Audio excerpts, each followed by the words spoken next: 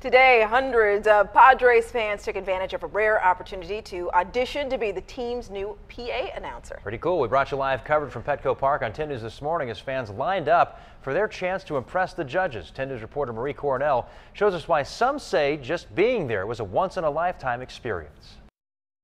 And number seven, Chase Headley. Chris Denorfia. And hitting ninth, number 54. Now playing first base for the Padres. They each had their own styles and their own reasons wanting to be the new Padres PA announcer. I think this is a once in a lifetime kind of deal uh, to be the voice of a big league ballpark. Blake Dorfman was the first person in line, showing up four hours before the gate opened.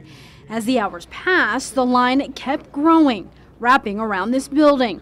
Among the crowd, Taylor Kate, one of the few women who came to audition. I wasn't really intimidated. You know, you got to stick up for being a woman. Shouldn't be scared because there's guys here. And one of her competitors, Barrett Cohen. He flew more than 2,200 miles to audition for his dream job. To have this opportunity to open it up for people, uh, the working people, I guess you might say, that can come out and apply for this. In the end, like the other hundreds that showed up, both gave it their all. Number 18, Carlos Quentin. For Taylor, it was something to cross off her bucket list. Now batting the pitcher, number 34, Andrew Cashner. But there is amazing people, and the Padres would be lucky to have any one of them.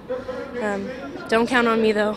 But for Barrett, he's hoping to get a call back. Hopefully, uh, get that interview and I can show him uh, some of the other things I can do. So.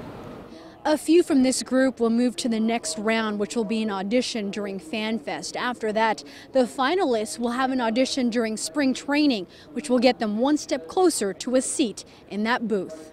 And the Padres say whoever is seated in this booth won't just have a great voice, but they'll bring a unique element that connects fans to Petco Park. Number 54, Alex Torres. Number 88, Kyle Blanks. Number 7, Chase Headley. From Petco Park, Marie Cornell, 10 News.